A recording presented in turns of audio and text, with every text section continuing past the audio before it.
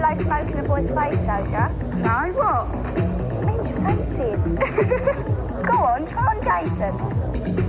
Shall I? Yeah, go on. Hi, Jay. All right, Jackie.